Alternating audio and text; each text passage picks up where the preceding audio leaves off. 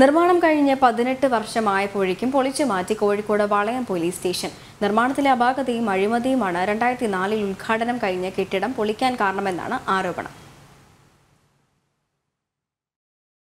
രണ്ടായിരത്തി നാലിലായിരുന്നു കോഴിക്കോട് വളയം പോലീസ് സ്റ്റേഷന്റെ ഉദ്ഘാടനം കഴിഞ്ഞത്. പക്ഷേ പതിനെട്ട് വർഷം കഴിഞ്ഞപ്പോഴേക്കും കെട്ടിടം പൊളിച്ചു മാറ്റേണ്ട അവസ്ഥയായി. നിർമ്മാണത്തിലെ അശാസ്ത്രീയതയും കടുത്ത അഴിമതിയുമാണ് പതിനെട്ട് വർഷം കൊണ്ട് പോലീസ് സ്റ്റേഷൻ കെട്ടിടം ഉപയോഗശൂന്യമാകാൻ കാരണമെന്നാണ് ആരോപണം. കെട്ടിടം പൊളിച്ചപ്പോൾ വാർപ്പിൽ കമ്പികൾ പോലുമില്ലാത്ത അവസ്ഥയാണെന്നാണ് കരാറുകാർ പറയുന്നത്. ഒരു പരമാവധി ഒരു അറുപത് കിലോ കമ്പിയാണ് ഈ കിടക്കുന്നത്. ഈ കമ്പി കൊണ്ട് ഇത്രയും കാലം ഇത് നിലനിന്നല്ലോ എന്നുള്ളതാണ് അപ്പം ഞങ്ങൾക്ക് രണ്ടായിരത്തി നാലിൽ ഉദ്ഘാടനം കഴിഞ്ഞ കെട്ടിടമാണ്. അപ്പോൾ ഇത്ര പത്തോ പതിനെട്ട് കൊല്ലത്തിന്റെ അടുത്തേ ആയിട്ടുള്ളൂ ഇതാകെ. ഇത്രയും കാലത്തിന് ഉള്ളിൽ ഇങ്ങനെ കെട്ടിടം പൊളിച്ചു മാറ്റുക എന്ന് പറഞ്ഞാൽ എത്ര ഉറുപ്പ്യ സർക്കാരിന് നഷ്ടം?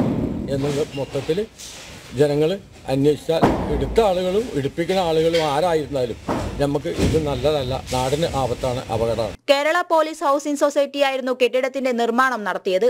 ഇടയ്ക്കിടെ സീലിംഗ് അടർന്നു വീഴലും മഴ പെയ്യുമ്പോൾ ചോർച്ചയുണ്ടാകുന്നതും കെട്ടിടത്തിൽ പതിവാണ്. സ്റ്റേഷൻ പൊളിച്ചു മാറ്റി പുതിയത് സ്ഥാപിക്കണമെന്നാണ് പൊതുമരാമത്ത് വകുപ്പിന്റെ റിപ്പോർട്ട്.